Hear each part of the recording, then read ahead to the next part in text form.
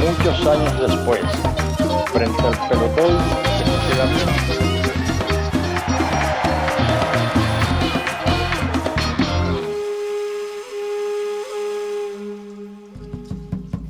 Conocido como uno de los liberales radicales más combativos de su época, fue el primer afrodescendiente en llegar al Congreso de la República y defender con gran orgullo su raza negra.